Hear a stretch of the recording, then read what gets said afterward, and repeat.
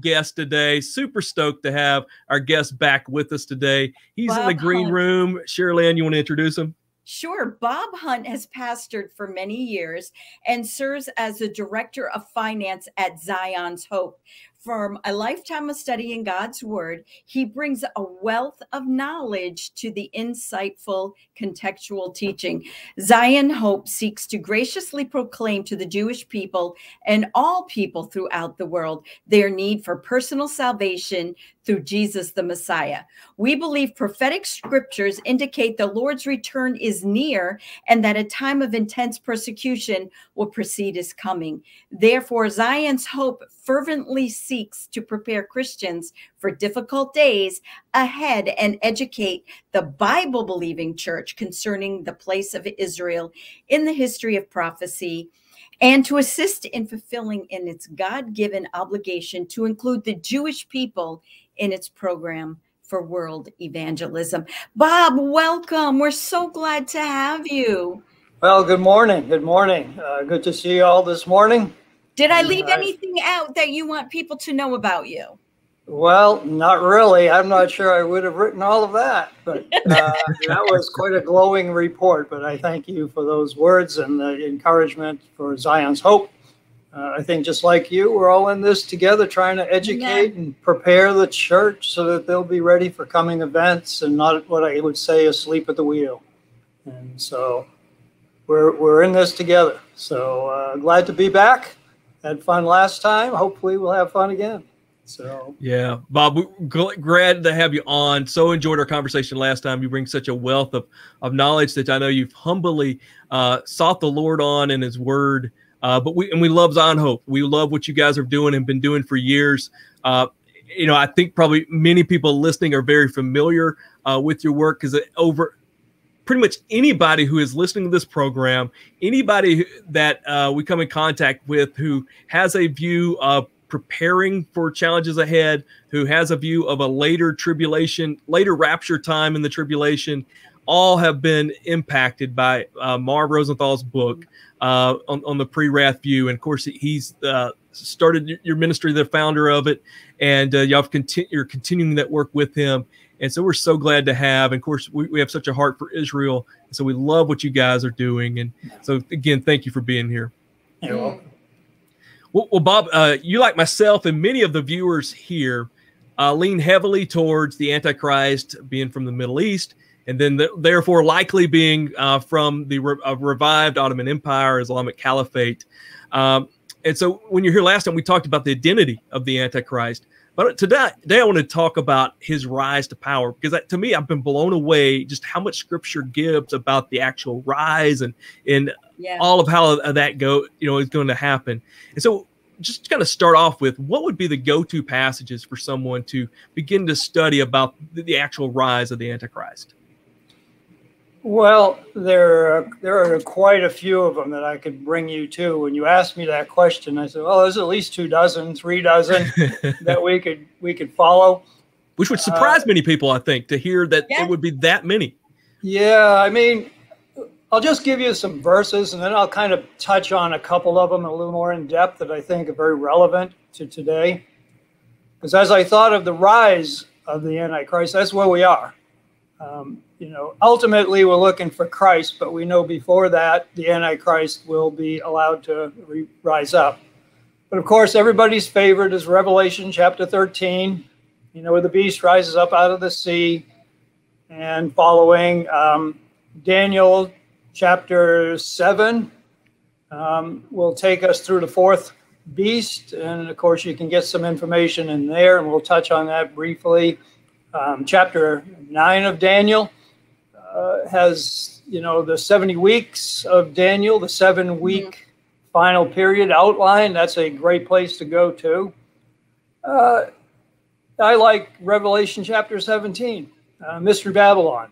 We can learn mm-hmm. a lot about um, the beast again and the Antichrist, and I'm going to touch on a couple things in there. And again, I'm not going to have a lot of time, but I'll just touch. Yeah. Second Thessalonians chapter Two, uh, we see the uh, revealing of the man of sin or the man of lawlessness or the Antichrist. And Now we see a couple of events that are critical uh, prior to um, the return of Christ, which is his unveiling of the Antichrist and also the apostasy that is found there. So those are also good verses.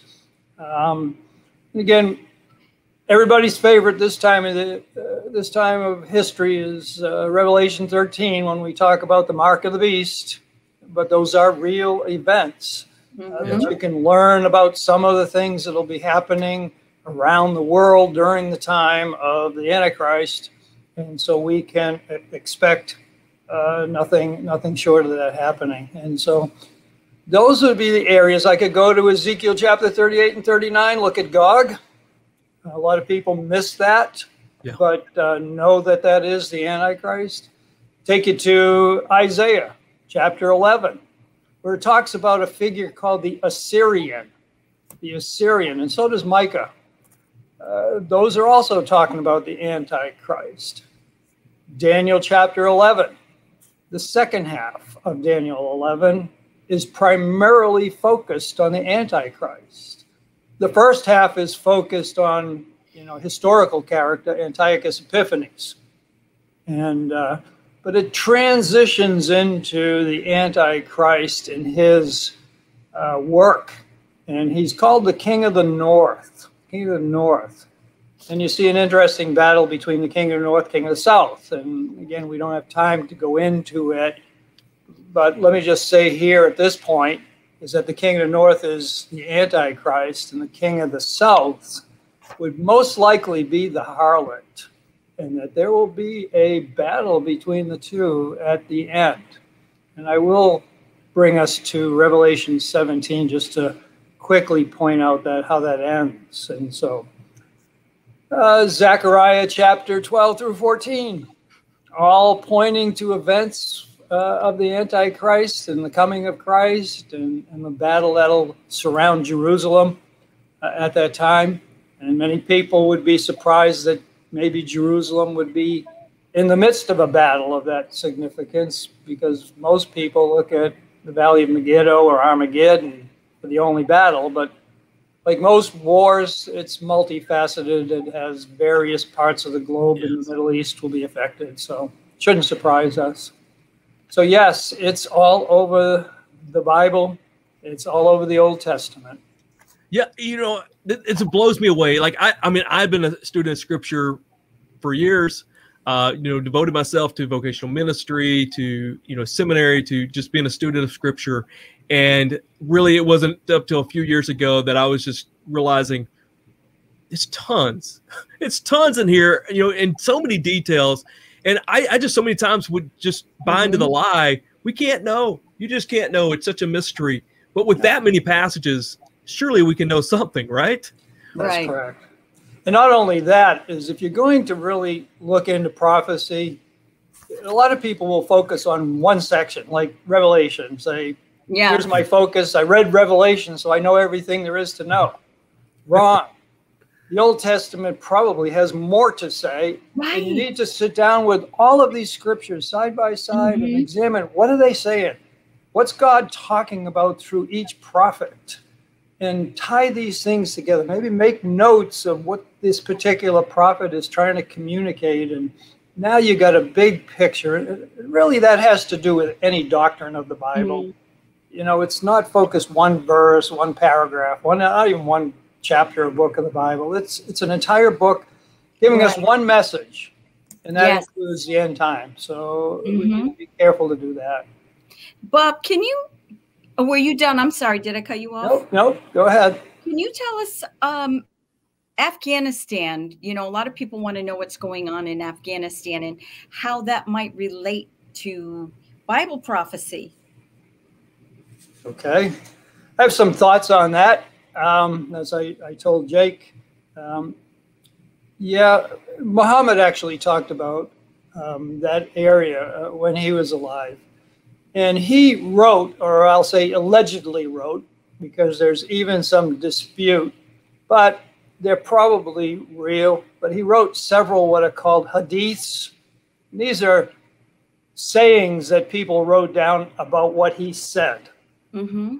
Now, he wrote several hadiths concerning an area called Khorasan. Khorasan.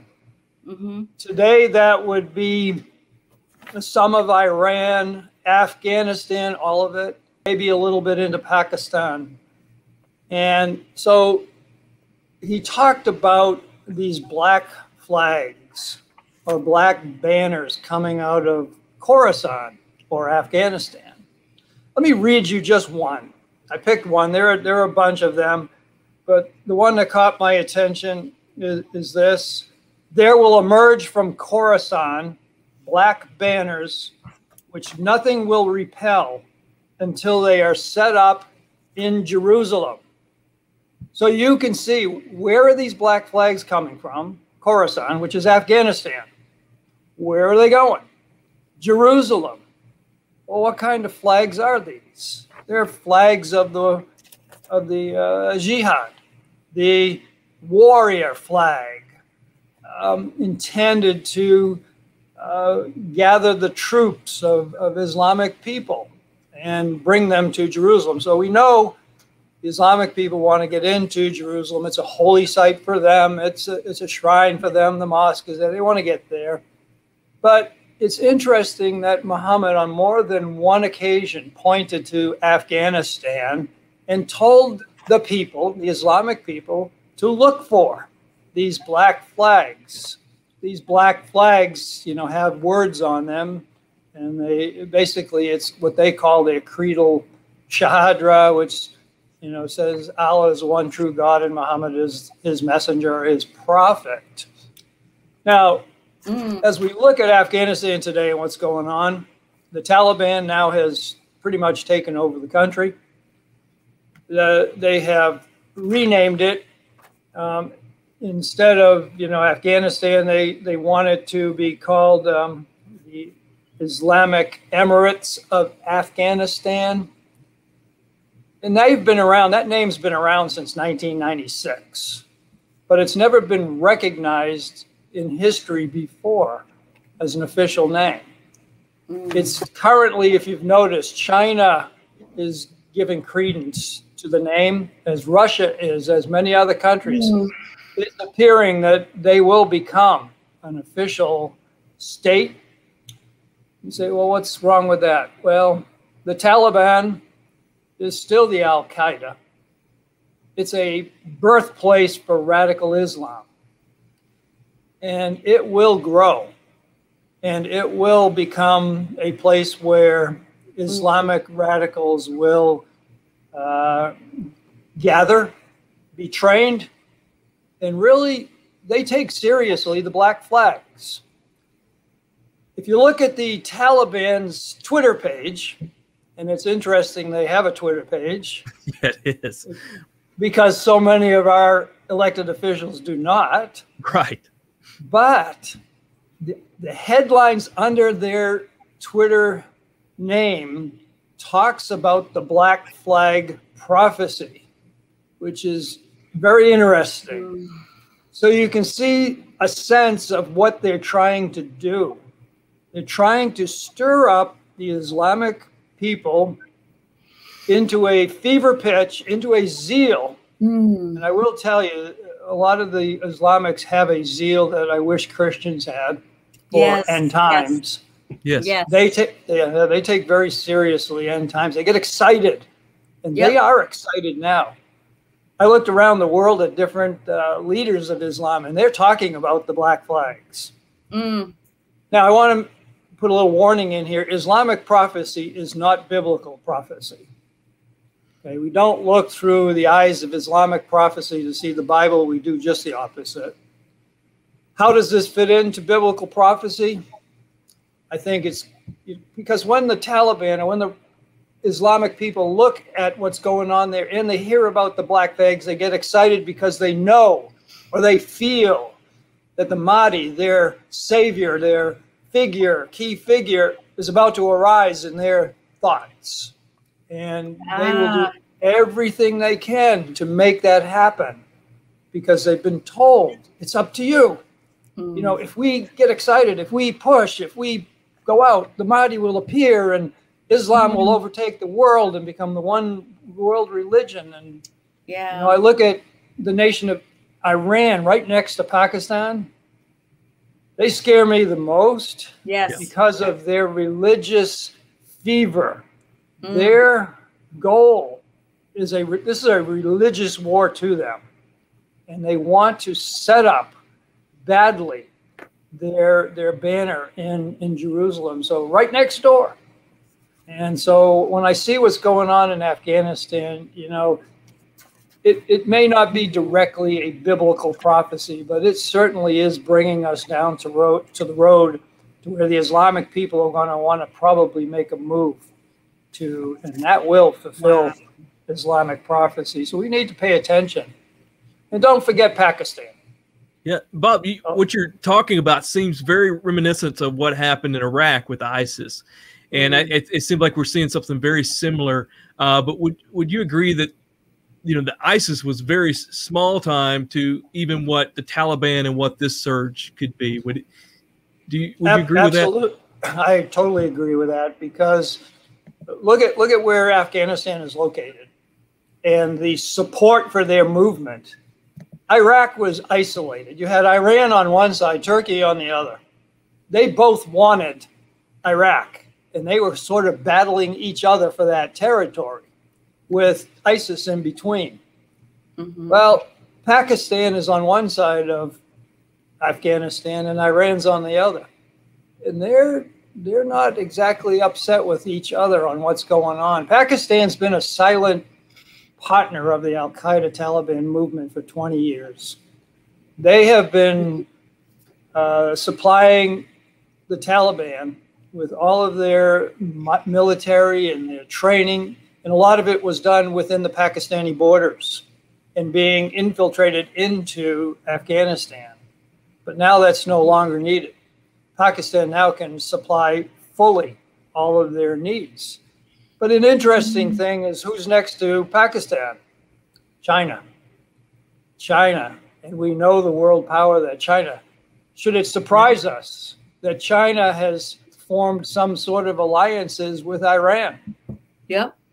Are they what should surprise us that China is jumping on the bandwagon to recognize this new uh, Islamic Emirates? There's a lot of power behind the Chinese and their government. Mhm. So yes, I see this as a different kind of uh, uh, uh, rising, as you would, of the Islamic uh, nation. And people say, "Well, it's it's radical." Well, Mhm. Islam, I'll tell you, is radical. And Oh, if you follow yes. the Quran and the Hadiths, and if you're a loyal Islamist Muslim, uh, it's a radical uh, uh, religion. So Yeah. I'd be keeping Yeah. a close eye on that area. And We they're just carrying out their their teaching and their you know they're just carrying out what they're called to do as, as faithful.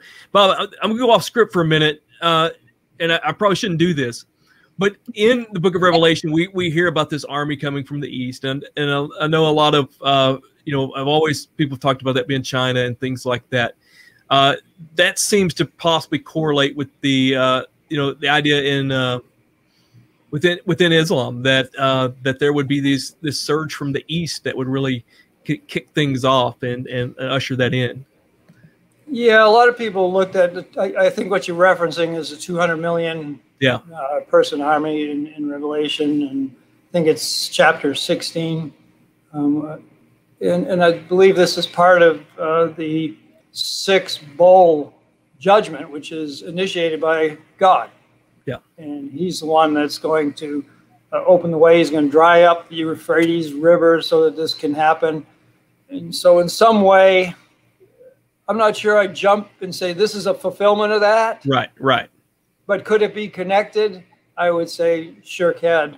Uh, Yeah. God could use this to open up that whole entryway because certainly China has the manpower. Yes. Now there's an avenue, and with the uh, you know with all of the power China has, they certainly could fight a proxy war through Mm-hmm. the Islamic people uh, to take down uh, Israel and Yes. form some kind of deal with Iran. I mean that that's a straightway shot that would uh, scare anybody. Mm-hmm. So, China's army, China's army is 2.3 million. That's yeah. what I just looked up. So we only have a few minutes left, and I'm Jake. I just want to thank you for being here, Bob. And I know Jake might have some more questions, but I do want to give a shout out to our brother from Sri Lanka who's watching. Thank you. And all those who have been giving great comments, Doug and Kelly, and all those. Thank you so much. We want to thank you for uh, just supporting us, supporting one another. And Bob, we want you to tell us about Zion's Hope and how people can support you there. Yes, uh, well, Zion's Hope, I mean, you did a pretty good job of, of telling people who we are. Uh, we are a ministry that's been around for, for quite a few years. Marv and Marbeth Rosenthal uh, were integral in starting it. Um, their people was for the love of Jews, mm. and it was also to teach people uh, eschatology and doctrine and even the things just about Christ. And so we've been supporting several missionaries in Israel. These are not missionaries we sent from the United States to Israel. These are people who have lived there and have grown up actually with Marv over the years. I mean, these missionaries are second, third generation. That's how long Marv's wow. been involved. Wow. So we have many programs, and we'll have one coming up called Servant's Heart here pretty soon, where we will try to help out the people in Israel by bringing literature, Bibles in their own Hebrew language, Sunday school material, help the Holocaust victims, bring food to the, the needy, uh, and those kind of things. We have a pro life center, a education Christian school. And so we'll be promoting that here in another uh, month or so, and uh, hopefully people will support that. The hundred percent goes over to the missionaries, and they will help, you know, take care of the programs. Normally we go, somebody from the United States goes, but you know the difficulties that we'll have with that. But one way or another, we'll help the people. Mm-hmm. On the other side is the teaching ministry. Uh, go to Zion's Hope org onto the website. You'll see loads and loads of videos on uh, current events, on eschatology, and, and some just on uh, key doctrines in the Bible. And the last thing is on Zion's Fire, which is a magazine that we publish uh, bi monthly. Um, and again, we cover key issues. And hmm. so that's really who we are. And um, if someone wanted to contact you personally, can they do that, and how would they do that? Yeah, they could contact me via my email, uh, which is my name, Bob Hunt, at zionshope.org.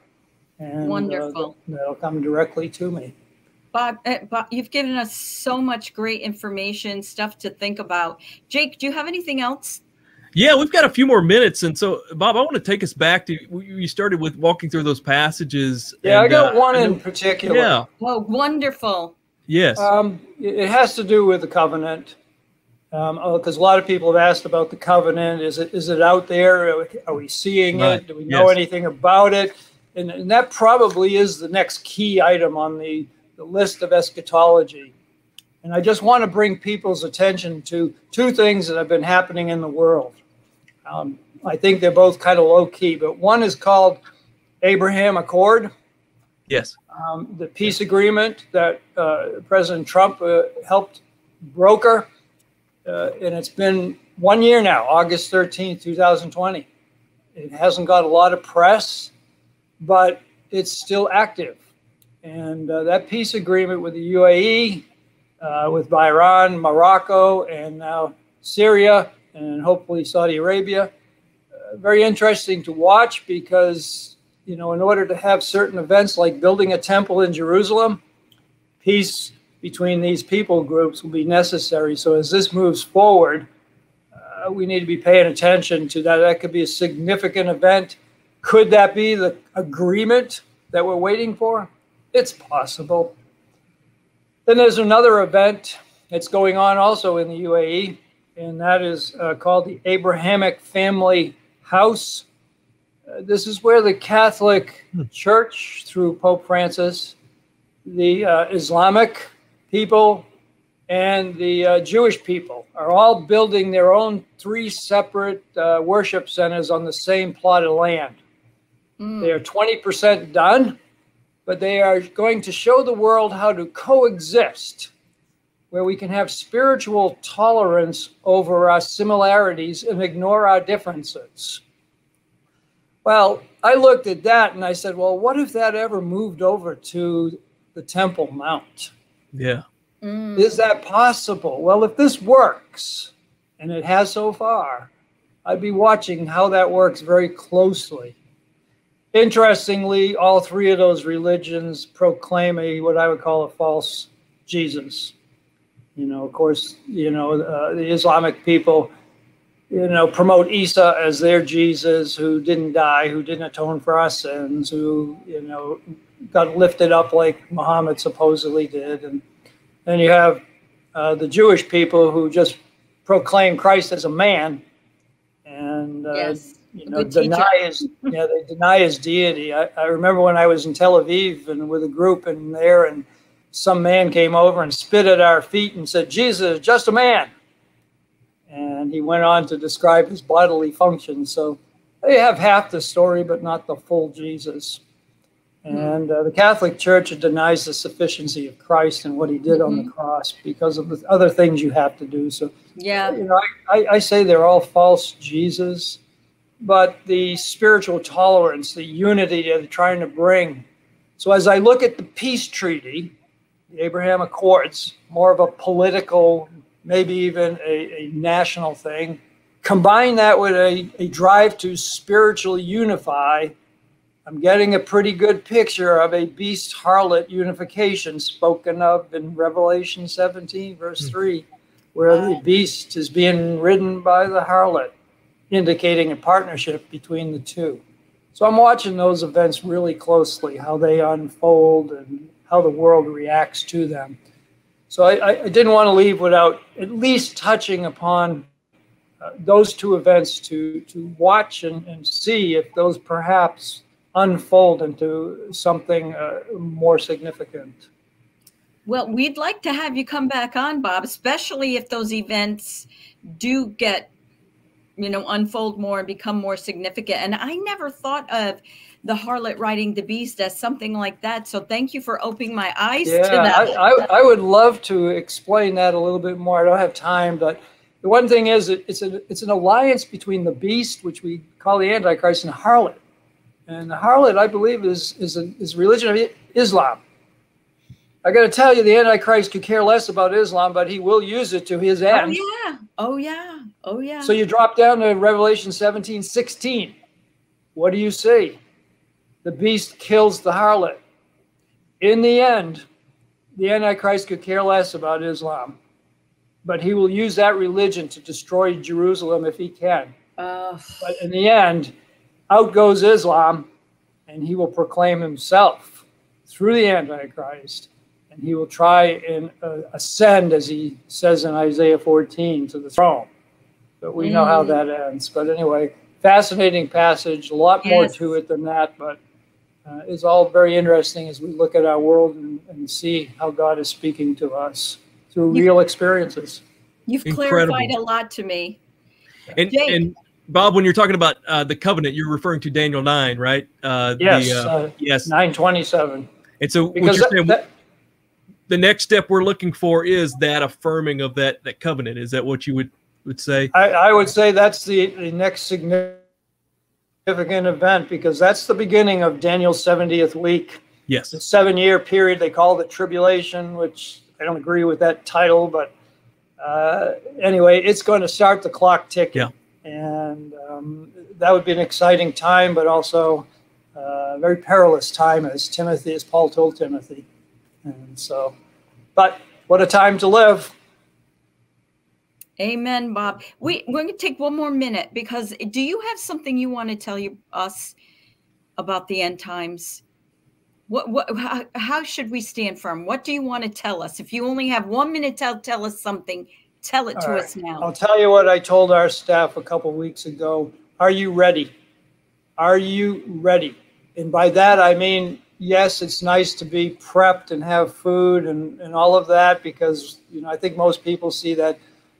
But are you ready to endure the persecution that's coming? Because if you look at the Revelation, you'll see that those that are destined for captivity will be captured, and those that are destined to die will die. Have you prepared your heart? Have you prepared your faith have you asked God to get you ready for this? I mean, we can't be nonchalant. You know, standing firm, that, that ties, dovetails right into this message because we it's coming. It's not some doctrine sitting out there that, you know, hey, yeah, I know. No, it it looks like it's becoming more and more real. For us here in the United States, uh, it's real all over the world for many, many nations.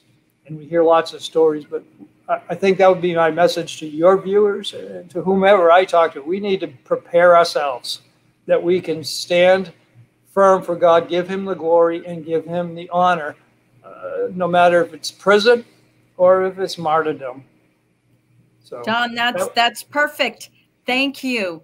I mean, I don't know if I should thank you or, but yes, we need to hear it. I need to hear it. So, Jake, any last words? And Don, thank you so much. Yeah, no, uh, Bob, thank you so much. Uh, why did incredible. I say Don? I'm sorry, Bob. Busted. Uh, Busted. But Bob, we we thank you I was so much. donning my armor. That's what I was. yeah, that's true. That's the way to do it. But we, we hope you, you'll you'll stick on after close. I'd like to speak to you a minute, but uh, we're we're so glad to have uh, have you on and be a part of this. And I encourage everyone check out Zion's Hope. Their teaching is incredible, incredible content. Uh, and I know you agree with their message and what they're doing. Follow them. Great, mm-hmm. great resources out there, and uh, keep uh, praying for us here at Stand Firm as we continue to help help you navigate such a time as this, and encouraging you to uh, stand firm. We'll be back at it next Thursday night uh, with our teaching Stand Firm, and back mm-hmm. doing this. Our talking Stand Firm. We'll continue talking about the Antichrist next week as we have our friend Jaron Lewis on uh, from Ambassadors of Christ, and they're talking about their new film, their new documentary on the rise of the Antichrist. Thank you, everybody, for joining us. God bless you. And don't forget, if you have any questions, Jake at standfirmministries.com. Join us next week. God bless.